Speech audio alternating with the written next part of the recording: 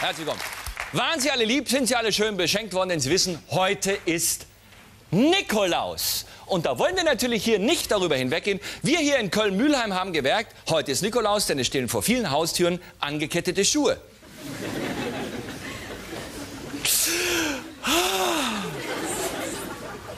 Die Afghanistan-Konferenz, wo? In Königswinter! Ist zu Ende gegangen mit äh, grandiosen Erfolgen, vorwiegend auf Verdienst unserer deutschen Mitarbeiter.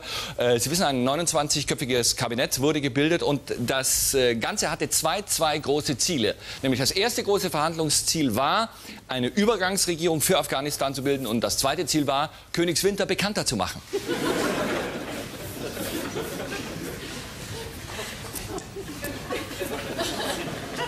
Kommen wir nun zu einem Thema, das Sie von den Sitzen reißen wird. Nämlich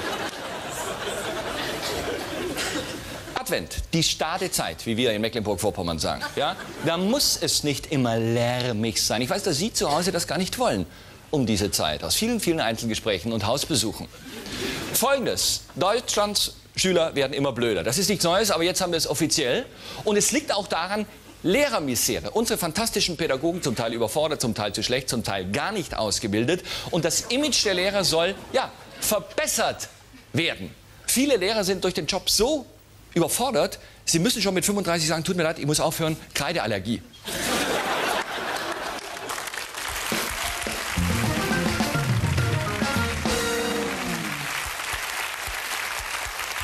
Natürlich, natürlich müssen auch unsere Pädagogen ein bisschen auf die Schüler zugehen, oder? Man kann doch von einem Lehrer erwarten, dass er mal eine Unterrichtsstunde in der Spielothek abhält. Helmut Zerlett and Thursday Night Fever.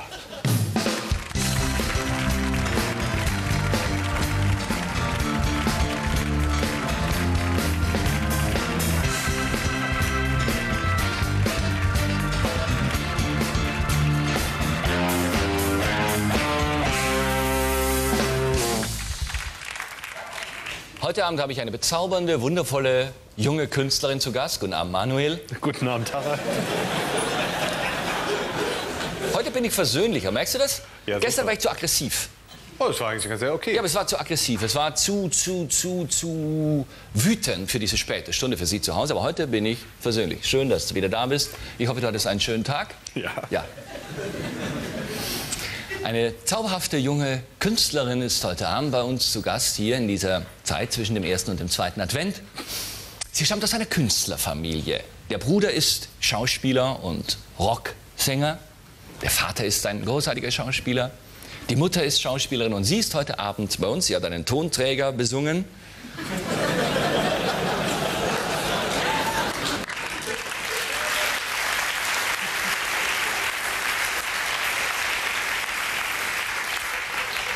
Vielleicht einen Anreiz für den Gabentisch.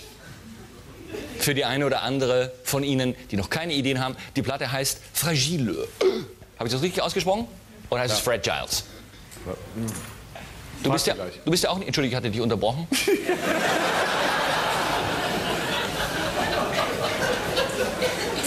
Hallo, die Herren Musici. Gestern war das zu aggressiv. Ja. Ich habe es zu Hause angeguckt, nachdem ich die Manns gesehen habe. Haben Sie auch gesehen? Das ist hervorragend. Super. Fantastisch. Eine Sternstunde für das Absolut. deutsche Fernsehen. Muss man sagen. Muss man nicht sagen, aber sollte man sagen. Wirklich wahr. Wie gesagt, wo war ich stehen geblieben, Manuel? Verzeiht. Wie man das ausspricht, frag sie doch gleich. Die Platte. Fragil, ich glaube schon, denn diese Bäckers sind ja sehr, sehr frankophil. Sie sind sehr unseren lieben Freunden jenseits des Rheins, die ich an dieser Stelle ganz herzlich begrüße. Bonsoir, mes amis en France. Merci. Sehr verbunden, ich glaube, die Platte heißt Fragil. Heute Abend bei uns die wunderbare Schauspielerin Meret Becker.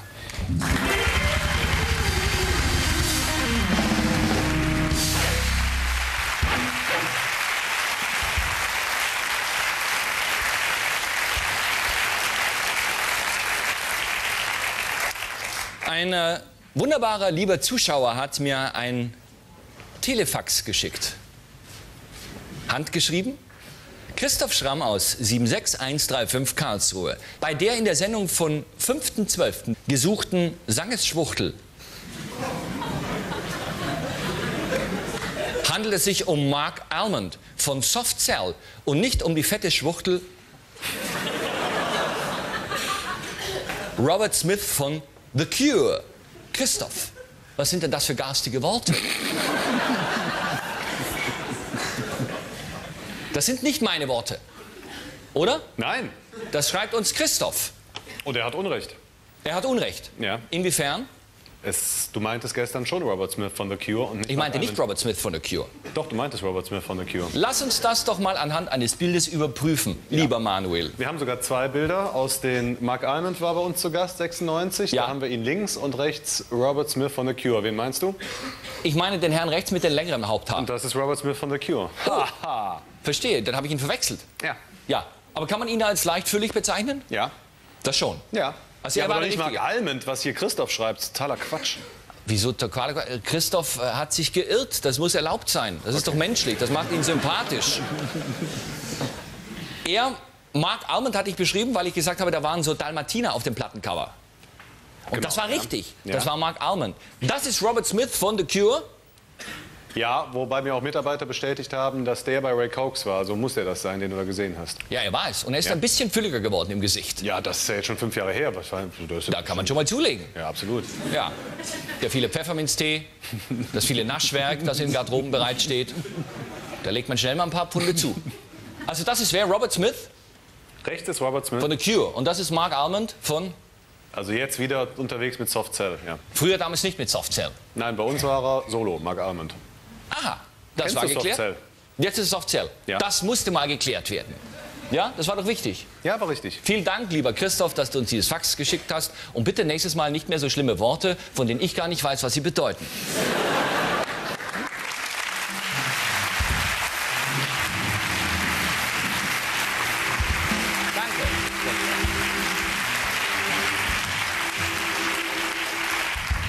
Ein wunderbarer Künstler, ein großartiger Menschenfreund, ein Freund der Kinder ist leider schon verstorben, sonst wäre er in diesen Tagen 100 Jahre alt geworden. Walt Disney. Wie viele zauberhafte Stunden hat er uns beschert? Wie sehr sind uns seine lieben Figuren ans Herz gewachsen? Sei es nun Mickey Mouse oder Minnie Mouse, sei es Daisy Duck, Dagobert Duck oder die Neffen. Tick, Trick und Track. Danke, Manuel. Leider muss sich auch Walt Disney einige schlimme Dinge anhören. Er hört sich zum Glück nicht mehr, denn er ist ja, wie gesagt, leider, leider verstorben. Aber es gibt so viele Behauptungen über ihn und wir sind sehr glücklich, Ihnen heute Abend einmal beweisen zu können, Walt Disney, das war ein Freund der Menschen, der Kinder, der uns oft ein Schmunzeln ins Antlitz gezaubert hat. Und hören Sie nicht mehr auf böse Stimmen, die Ihnen anderes eintrichtern wollen. So war Walt Disney wirklich. Walt Disney, Gründer von Disneyland, Disney World und Wiener Walt, wäre in diesen Tagen 100 Jahre alt geworden. Er allein hat es geschafft, dass sich sein Unternehmen zum Weltkonzern gemausert hat. Doch wie in seinen zahlreichen Märchen tauchen Bösewichte auf, die Walt Disneys guten Ruf zunichte machen wollen. Lüge Nummer 1. Walt Disney soll ein Zwangsneurotiker gewesen sein. Bis zu 30 Mal in einer Stunde soll er damit verbracht haben, sich zwanghaft die Hände zu waschen. Eine Frechheit. In Walt Disneys Arbeiten gibt es absolut gar keinen Beweis für eine derartige Unterstellung. Auf, zu, auf, zu, auf, zu, auf, zu. Auf, zu, auf, zu, auf, zu, auf. Lüge Nummer 2. Disney soll ein Despot gewesen sein. Ein Tyrann, der seinen Mitarbeitern nicht über den Weg traute und gegen alles und jeden ein Misstrauen hegte. Auch dafür gibt es keinen einzigen Beweis. Kollegen, komm mal her. Los, zackig, los. Alle mal herkommen. So. Der Penner hier, der, der soll mir eine Banane malen. Da malt er mir so ein Kackhörnchen. Du bist entlassen! Lüge Nummer 3. Disney soll ein Kommunistenhasser gewesen sein. Eine Frechheit und absolut schlecht recherchiert. Hier die kommunistische Schneewittchenfassung, die Walt Disney persönlich in Auftrag gab.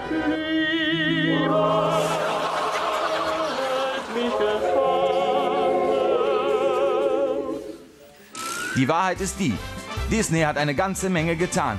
1989 öffnete Disney nach längeren Verhandlungen sein Ossi Disney auch für Besucher und stellte damit der Weltbevölkerung seine neuesten Figuren und Kreationen vor. Alleine an diesem Exemplar arbeiteten die Zeichner über drei Monate. Und Disney hat nicht nur Kinder auf der ganzen Welt begeistert.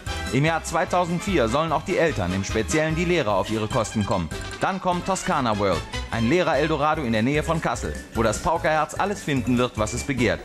Ja, Disney ist einfach überall. Selbst die schärfsten Kritiker sind doch irgendwie Kinder geblieben. Danke dafür. Eine schöne Tradition mittlerweile bei uns. Nämlich, wir haben das jetzt vereinfacht. Wir haben jetzt unseren Adventskalender hier aufgehängt. Und heute ist es das Säcklein mit der Nummer 6. Und das bekommt jetzt eine Dame oder ein Herr von uns hier geschenkt. Habe ich das richtig gesagt? Super. Das habe ich richtig gesagt.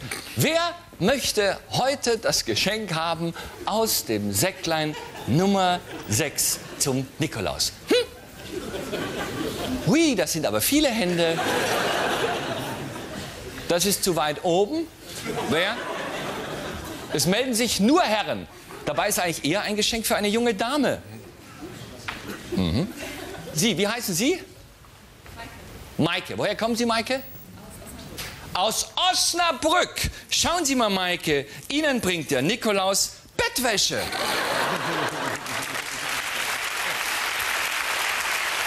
Oder ist das Tolle?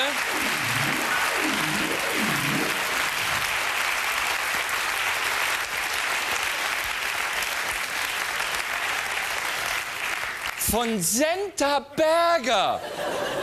Die großartige Schauspielerin und Künstlerin Senta Berger hat sich diese Bettwäsche ausgedacht und sie schläft auch selber drin. Nicht so wie bei vielen Prominenten, die Werbung für Dinge machen, die sie selber nie benutzen würden. Nein. Senta Berger hat abends, wenn sie vom Dreh nach Hause kam, gesagt, jetzt entwerfe ich Bettwäsche. Sie heißt elegante Marco Satin, 100% Baumwolle und sie kostet, wir haben den Preis dran gelassen, hier können Sie sehen, 229 Mark, Maike. Das ist nicht diese Vorte-Bettwäsche, oder? Die so zurückknallt, wenn man ein Spannbetuch drauf macht. Ja. Da hätte ich mir echt mal fast die Fingerkuppe abgeschlagen. Ja? So, die, die wird ja immer kleiner, diese Billigbettwäsche, bei jedem Mal waschen. Einmal mit 120 Grad gewaschen, schon ist das Bett, das Laken so groß, man sieht, schlägt zurück. 100, äh, 229 Mark und Sie können sich schon dran gewöhnen, 117 Euro 9. Da kann man mal sehen, dass das mit dem Doppelten gar nicht stimmt, weil ich würde sagen, 117 Euro mal 2, so rechne ich um, ja, sind 234. Nein, es sind nur 229 Mark. Marco Santin Bettwäsche von Senta Berger. Mundgeblasen, selbst entworfen. Und schauen Sie, wie, wie bequem sie diese Hand da drauf hat. Und sie hat es selber bemalt. Ein wirklich schönes Blumenmuster. Maike, aus Osnabrück. Ist das der Partner? Ja, das heißt, Sie werden sich zu zweit in diese Wäsche kuscheln. Oder haben Sie eine Allergie? Einmal vorher durchwaschen. Sie wissen ja, damit die Imprägnierung rausgeht. Ja? Ist das Ihr Geschmack? Ähm, ja, die Farben, naja, ist okay. Muss man beim Ganzen so sehen, ne? Können Sie nicht ein bisschen heucheln? Viel Spaß damit. Auch für Sie beide. Wie heißen Sie? Sind verheiratet? Aber hier kann das schlecht. Kriegen die Herrschaften das Säckchen auch? Kriegen die Herrschaften das Säckchen auch? Wenn Sie auch haben? Zum mit nach Hause nehmen. Ist auch schön beim nächsten Geburtstag Kasse rum äh, zeigen. Ne? Zeig doch mal, was du bei Harald Schmidt bekommen hast. Das ist aber wirklich toll. Ja, Sie können das ja auch abmachen und dann irgendwie sich da für Karneval was draus. Gibt es in Osnabrück Karneval? Aber hallo, Ja? natürlich. Ganz anders die Stadt als das Image, oder? Ja. Osnabrück, eine meiner Lieblingsstädte. So, jetzt kommen wir zu einer ganz, ganz tollen Sache. Nämlich eine Umfrage. Und zwar folgendes. Man hat doch jetzt festgestellt, unsere Schüler sind äh, dumm. Wo ist mein Schreibtisch hier? Und äh, war der gerade auch schon hier? Ja. Ihr verrückt doch die Möbel, während ich da bin. Gib's doch zu. Gib's doch zu, da kommen doch Leute und schieben an den Möbeln rum. Hey, hey, hey, hat der den Schreibtisch nicht gefunden und so. Und äh, das ist nicht die Schuld der Schüler. Die Schuld der Schüler, ohne meine langjährige Sprecherziehung könnte ich das gar nicht äh, fehlerlos aussprechen. Die Schuld der Schüler ist es nicht, denn unser Autor, Quizgenie, Tierliebhaber und lieber Freund Markus Passlik hat uns aus seiner Tageszeitung, den Westfälischen Nachrichten, Folgendes geschickt. Ein Test, eine Testfrage aus dem sogenannten PISA-Test. Das war doch dieser Test, mit dem die Schüler gepisagt werden sollten. Und äh, ist mir gerade eingefallen. Und, äh, und damit man mal sieht, dass man immer vorschnell urteilt. Ich stelle Ihnen mal eine Frage aus diesem PISA-Test. Ja? Und dann können Sie mal sehen, ob Sie das selber wissen. Ich, ich mache mal erstmal Aufgabe 1. In einer australischen Zeitung erschien 1997 folgender Leserbrief. Wussten Sie, dass 1996 die australische Bevölkerung fast genauso viel Geld für Schokolade ausgegeben hat, wie die australische Regierung für internationale Hilfsmaßnahmen? Könnte es sein, dass etwas mit unseren Prioritäten nicht stimmt?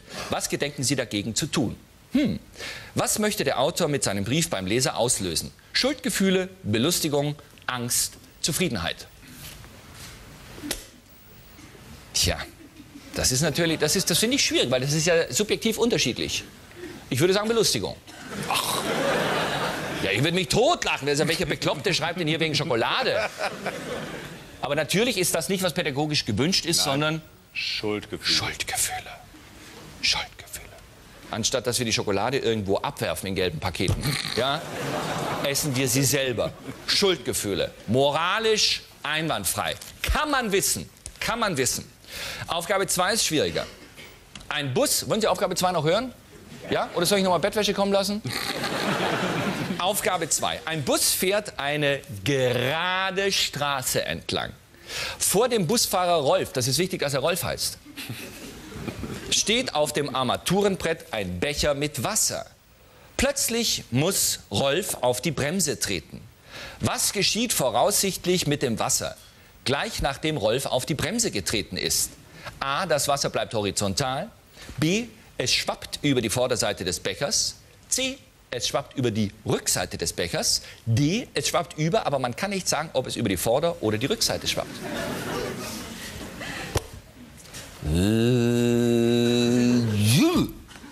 Was passiert mit dem Wasser? Vorderseite?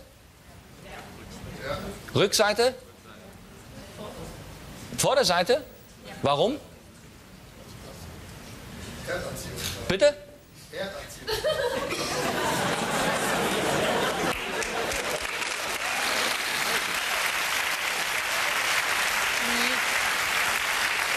Ich glaube auch.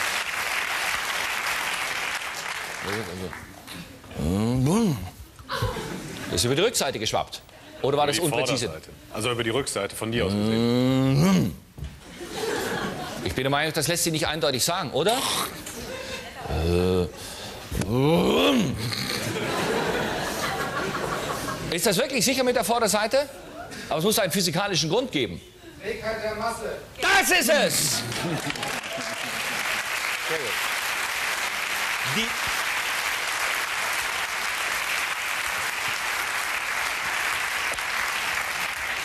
Die Trägheit der Masse, wenn f größer 1 für Pi kleiner Alpha. Absolut. Das ist die Formel, nach der das berechnet wird. Und jetzt wird gelernt. Sie können ruhig zu Hause die Hefte rausnehmen und mitschreiben. Wir fangen ganz von vorne an in der griechischen Antike. Unser Thema heute folgendes. Die Taten des Theseus.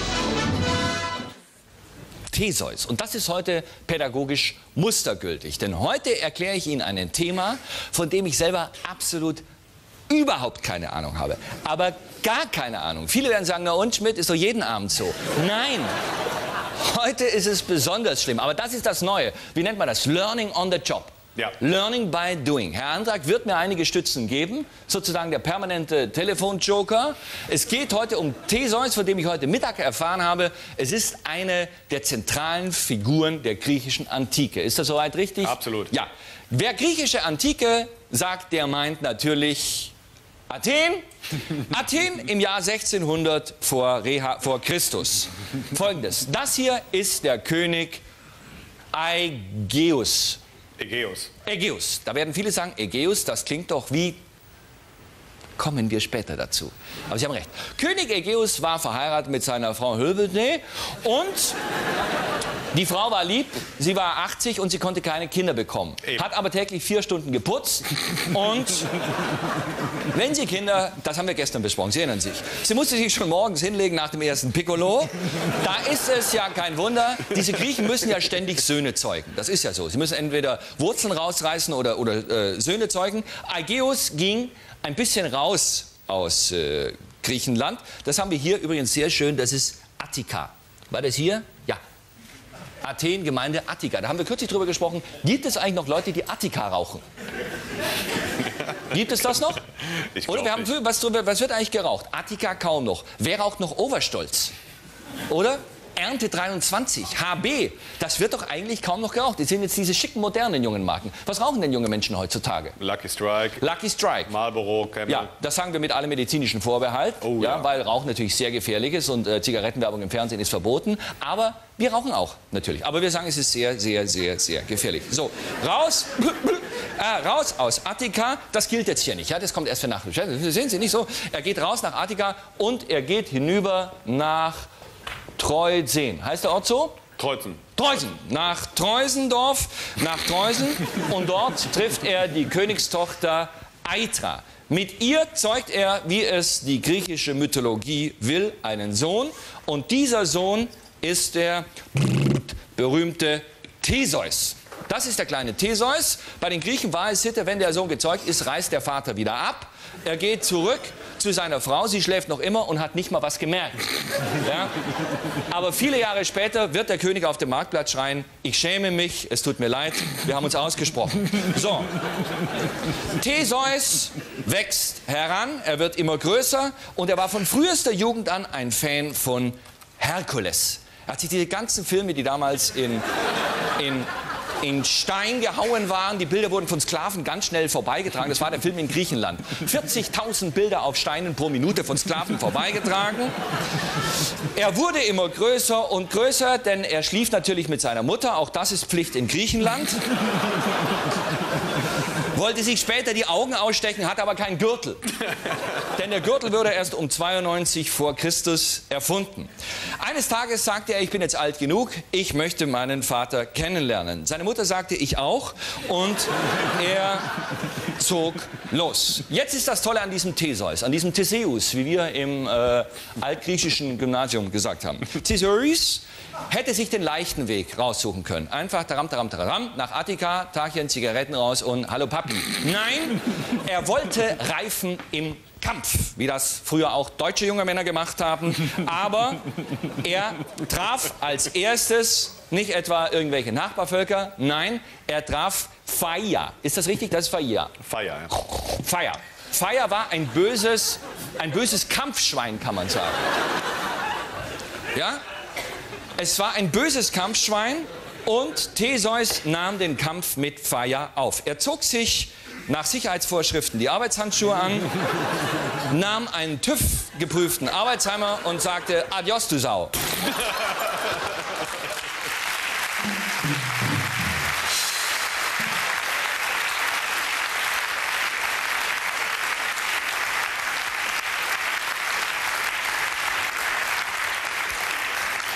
Da staunte er nicht schlecht, als er sah, was Faia, das Schwein, schon alles gefressen hatte. Ritter, Kämpfer, Waffen und so weiter. Er ging weiter und traf einen großartigen Sprichworteerfinder, den ich bisher nicht kannte. Pro, pro, Cru, Prokrustes. Hieß er so? Prokrustes, ja. Prokrustes. Er hatte Prokura bei einer Bettenfirma und daher kommt auch der Satz das prokrustische Bett. Das war im Grunde so. Prokrustes lockte Leute zu sich nach Hause. Ey, willst du bei mir schlafen? Ja? Dann, wenn die, Leu wenn die Leute sehr groß waren, sagt er, hier könnt ihr pennen. Ey, das Bett ist für dich zu klein. Sägt er die Menschen auseinander. Blutiges Gemetzel, das können Sie hier ganz deutlich sehen. Ja. Waren, Menschen, waren Menschen sehr klein, sagte er, leg die doch hier rein, Helmut. Und dann war das Bett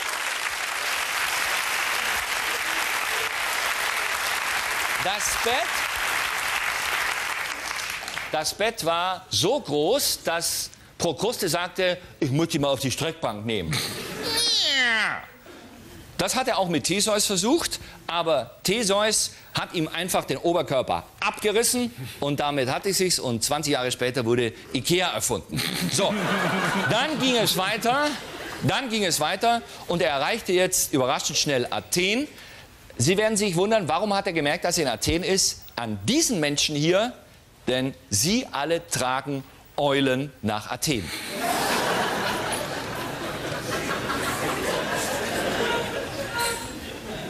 So erfahren Sie heute, wo die ganzen Sprichworte herkommen. Ja? In Athen wurde gerade von mehreren Diktatoren gleichzeitig die Demokratie erfunden. Das heißt, das Volk stimmte ab und jeder machte dann, was er wollte. Und es gab das berühmte, das können Sie mir jetzt mal mitschreiben für Herrn Jauch, das berühmte Scherbengericht. Das hieß, wenn man einen Politiker nicht so gut fand, leistungsmäßig, schrieb man seinen Namen auf eine Scherbe und warf ihn in den Garten. Und wenn da mehrere Scherben zusammenkamen,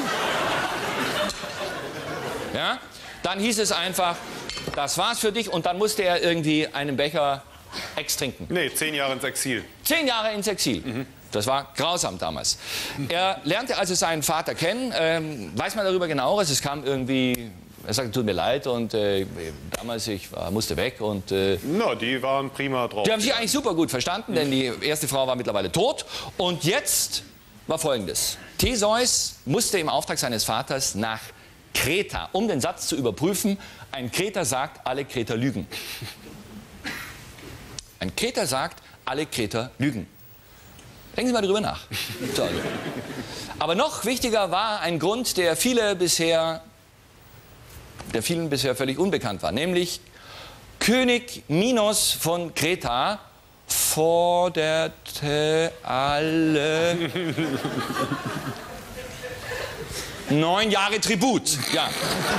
Und zwar, und zwar folgendes: Es mussten ihm alle neun Jahre sieben Jungfrauen und sieben Jünglinge geopfert wurden, dem bösen Wesen Minotaurus. Theseus sagte, da mache ich jetzt Schluss, ich fahre mit nach Kreta, ich werde das Wesen erledigen. Und Sie sehen das schwarze Segel. Er hat zu seinem Vater gesagt, wenn ich es schaffe, den Minotaurus zu erledigen, dann komme ich mit einem weißen Segel zurück. Das ist ganz wichtig, dass Sie sich merken. Minotaurus tot, weißes Segel.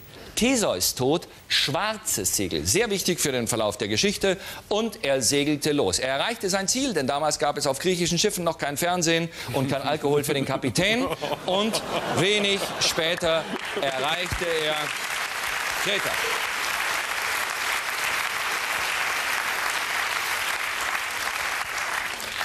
Das war sozusagen die kretische Hafenkneipe beim Dionysos und am Hafen in Piräus in Kreta.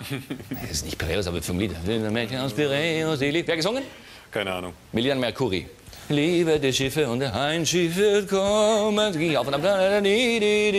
So, das war, das war Passive. Heißt sie so? Pasifae. Passiva, was sind das denn für Namen? Passifae, das war Passifae. Passifae hatte auch ein Problem. Und zwar, sie liebte einen weißen Stier. Klingt wie Axel Schulz, war aber ein Tier. Ja? Und zwar folgendes. Und das, ich weiß, dass uns heute bei diesem Thema viele Lehrerinnen zuschauen. Passifae, Passifae Pasifae. wollte von einem weißen Stier schwanger werden, aber der weiße Stier wollte nichts von ihr wissen. Da rief sie Daedalus, den berühmtesten Erfinder der Antike, mit seinem Sohn. Wie hieß der Sohn? Ikarus. Wie das endete, ist auch bekannt. Und der erfand ihr einen hölzernen Stier, der ausgehöhlt war. Und man glaubt es nicht, diese geilen Kreterinnen, ja, sie legte sich in den Stier rein,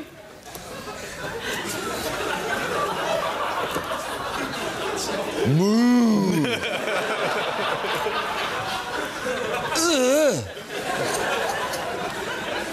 Äh. Muh, war ich gut? Ja? Und kurz darauf Minotaurus. Ja.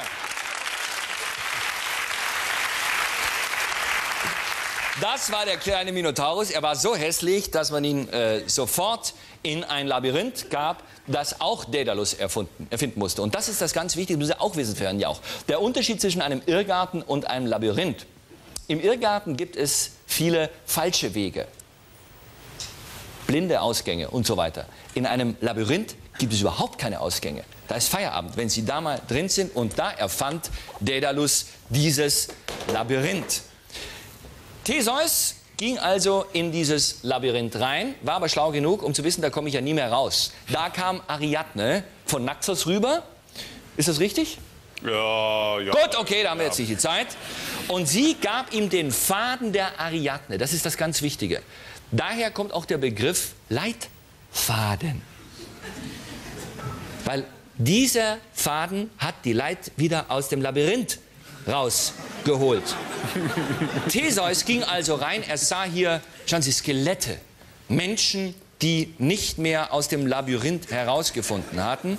Und aus Gründen des Realismus, mu- schauen Sie, was er hier fand, das waren alles Dinge, die nicht mehr herausgefunden haben. Aus Gründen des Realismus muss ich jetzt dieses ganze Labyrinth abgehen, sonst sagen Sie, Moment mal, ich habe die Geschichte nicht begriffen mit diesem Labyrinth. Ah, das war Skelett. Und dann kam er hier und da entlang. Und da war Graphitos, der erste Sprayer. Und dann ging er hier noch mal rum, unter dem Faden durch. Das konnte er sich ja merken. Ja, hier noch mal unter dem Faden durch, hier rüber. Und hier stand er vor dem Minotaurus. Ein riesiges Ungeheuer, da kann man schon mal Angst kriegen. Und jetzt passiert Folgendes. Er kämpft mit dem Minotaurus, schob von hinten vorsichtig die Spritze rein, riss ihm den Kopf ab und es passierte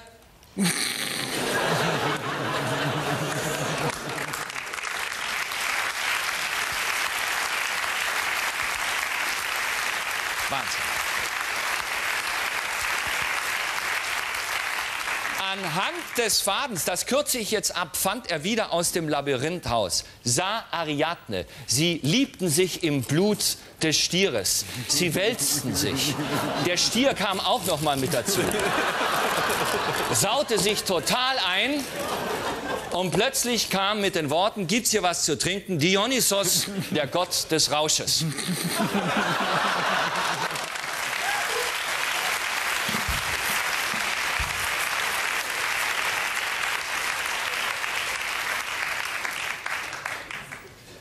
Er entführte Ariadne. Das können wir uns jetzt denken. Ach nee, das war nee, das war Ariadne. Theseus sprang blutverschmiert auf das Schiff und er war so im Blutrausch, dass er vergessen hat, das Segel zu wechseln. Sie erinnern sich, ich habe Sie vorhin gesagt. Er fuhr zurück. Sein Vater Ägeus sah das Schiff, sah das schwarze Segel, sagte, nein, die Schande überlebe ich nicht, sprang von einem Felsen ins Wasser und seine letzten Worte waren, ich taufe dich auf den Namen Ägäis.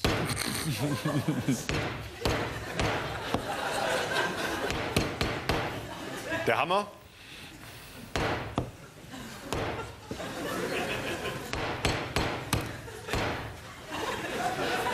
Naja, das zeigen wir Ihnen morgen. So, wie es aussieht.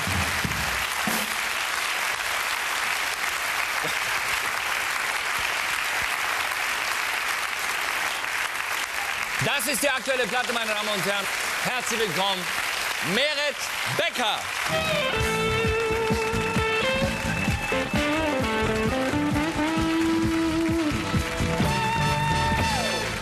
Wow, vielen Dank. Das ist aber nett. Cheers, nimm Platz. Du hast ja ein Getränk mitgebracht? Ja, ich wollte mich nicht waschen, deswegen. Ja, äh, das ist aber nicht, ich habe nicht die Finger. Soll ich das Wasser überhaupt wegstellen? Ja. Wie spricht man die Platte aus? Fragil? Fra also ich sag fragil, man kann aber auch fragiles dazu sagen, auf Deutsch oder auch fragiles. Das klingt ein bisschen. Aber fragil ist natürlich eigentlich korrekter, weil es hat ja so einen Frankreich-Bezug. Es ist, ich bin ja sehr frankophil und Ja. ähm, Und wie war das? Du bist in Paris aufgetreten. ja, letztes Jahr Wo? mit meinem im äh, Theatre Odeon, l'Odeon heißt es auf Französisch, also Ja. Odeon Theater Ja. auf Deutsch. Und da bin ich in Paris aufgetreten und es war ausverkauft. Und da waren lauter Franzotten drin, ja, nicht so Wirklich? viel Deutsche. das muss man mal ganz klar sagen. Ja, die, die Pariser nehmen eigentlich nichts wahr, was davon außerhalb kommt, weil die Stadt so viel zu bieten hat und so. Und es war ausverkauft, die Leute haben gejubelt. ja, Was hast du da gesungen? Ähm, die letzte Platte, die ich gemacht habe, hieß Nachtmahl und Ja. die habe ich, und die habe ich da präsentiert. Und ähm, die waren, am Anfang waren sie sich nicht so ganz sicher, weil das sind sehr dunkle Geschichten, ob äh, der Deutsche auch Humor hat oder ob das jetzt ernst gemeint ist. Und dann haben sie aber irgendwann doch erstaunt festgestellt, dass wir Humor haben. Und haben gejubelt. Und haben gejubelt. Das ist eine tolle Sache. In Paris, ja wirklich. Begeistert? Warst du überrascht? Ja, angenehm. Ja. Wie haben Sie dich hinterher noch angesprochen dann? Wir sind dann äh, ins Foyer gegangen und dann wurde noch mal so applaudiert und dann sind wir auf eine Party gegangen und man wurde bestaunt, wie, ähm, wie so ein exotisches kleines Wundertier irgendwie. Das war sehr schön. Ja, das genießt man dann, oder? Ja, sehr. Ja. Was ist das für Musik hier? Das ist. Äh, ach, das soll man sich anhören. Das kann ich jetzt, glaube ich, nicht Aber wenn ich jetzt erklären. Geschäfte Also, sage, ist, ist, ist das, sind das Chansons? Ich würde das- sagen, es sind Chansons, weil ich denke immer, wenn ich eine Platte mache, in so einem ganzen Bogen. Also ich mache dann immer so ein ganzes Programm und dann. Ja. Und, dann, äh, und da sind so, so, so Anekdoten drin, so eine Geschichte, eine Rahmenhandlung und darin eingefügt sind Liebeslieder. Eigentlich fast nur Liebeslieder. Mit eigenen Texten? mit eigenen Texten und zum Großteil eigene Musik oder von uns dreien. Ulrike Hage bei die Sache haben mitgemacht, sind wunderbare Musiker und wir haben das zu dritt dann weiterentwickelt. Und du schmummelst Ja, die ich ganze Zeit auf meinen Arm. diese, ist das neu, das Tattoo? Da hattest du das letzte Mal auch schon. Nee, das hatte ich letztes Mal auch schon. Das hatte ich schon beim ersten Mal, als ich hier war. Und ich habe dich mal tätowiert deswegen. Ja, genau, ich das überlege, ist aber, aber das fehlgeschlagen, hatte- weil das war so ein Alkohol-Tattoo und der ganze Alkohol ist in den Scheinwerferlichtern verdampft. Und Verdampft und verdunstet. Und das ist aber ein echtes. Das ist ein echtes. Richtig, du würdest, das, ist, das war jetzt, Ich du würdest nie eins. eins. Wirklich? Hast du es damals auch schon? Hast du schon angedeutet damals, dass du es hast? Nee. Damals, Wo denn? das sage ich jetzt nicht. Am Knöchel? Nein, Höher? an einem anderen Knöchel. Es gibt, naja, Knöchel nicht. Ja, wo denn? Knöchel? Was ist das denn? Was ist, denn ein Knöchel kann. Ist es mehr ein, ein, ein Bein? Ähm, was ich da habe. Nein, ja, wo du tätowiert ist. Ein, ein, zum Beispiel ein Schambein oder so. Es ist, Ein äh, es ist Kreuzbein. ein Knochen, also man da, so, das ist da so in dem Bereich. Hier ungefähr. Gut, das ist natürlich Diskretion, das äh, zeigen wir dann. Das war Das nächste von Mal. Einer, Bitte? von einer anderen. genau. Wenn du dann eine andere Sendung fährst oder wie. Ja. Was ist das für eine. Das ist von einer, von, einer, von einer Band, die ist aber inzwischen pleite gegangen. Und die haben damals gesagt, wenn ich das mache, dann bin ich altersversorgt. Und das ist aber. Da, wie das heißt, das Ding? Die, Da heißt, war das, ich 18, da war ich noch naiv. heißt das, die ganze Band hat dich tätowiert oder was? Wa- was heißt das, das ist von einer Band? Das war das Bandzeichen. Ach so. Verstehe. Und die Band gibt's nicht mehr. Ja, schade, aber, Aber das. Tattoo gibt's immer noch. Ja, gut, das ist ja auch was. Oder? Was ist das für eine Rolle, die du spielst in diesem Film äh, 0 Uhr 12? Das ist ein Film von Bernd Michael Lade. Ist das dieser Der Schauspieler auch aus dem Tatort? Genau, und Der ist toll. Karl Niggels, der ist ganz toll. Ja, Carniggles, genau. Genau, Karl Ja. Niggels von, von, von Buck. Buck. der Film. Da hat damit Karriere gemacht und jetzt macht er Tatort und macht eben selber auch Regie. Und Ja. ähm, der hat heute am 6. Dezember, also Nikolaus Premiere, und ähm, ist ein wunderschöner Film geworden. Ist so eine, so eine Gangstergeschichte, aber so ein bisschen anders. Und ähm, handelt eigentlich von sechs Personen, also sehr liebevoll beobachtet, so normal, Otto-Normalverbraucher, die so an den Rand ihres Daseins. Daseins kommen und dann irgendwie ausflippen, so wie sie es eigentlich schon lange hätten tun sollen. Und bist du auch eine Gangsterin? Das sage ich jetzt nicht. Ach, Aber ich flippe auch aus. Du flippst auch aus? Ja. Äh, wir zeigen mal einen Ausschnitt und äh, schauen mal, ob das schon in dem Ausschnitt zu sehen ist. Ich weiß es nicht. Vielleicht nicht. 0 Uhr 12, Meret Becker. Da kann einem ja Angst werden.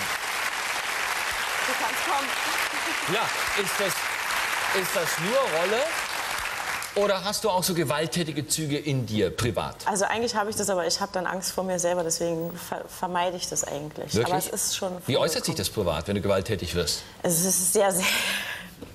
Ich versuche das wirklich also mit an Tassen oder dergleichen auszulassen, die dann an Wände fliegen. Aber es gibt so, also ich habe schon so ein, ich glaube, ich bin dann überdimensional stark. Also ich habe mal in einer Bar, irgendwie war ich sauer, irgendwie den Abend war ich aus und dann waren da zwei Jungs und die haben mich beobachtet, die haben mich irgendwie erkannt oder was weiß ich und haben gelacht und so. Und dann habe ich zu meinem Mann gesagt, ich gesagt, guck, die gucken auch irgendwie. Und, so.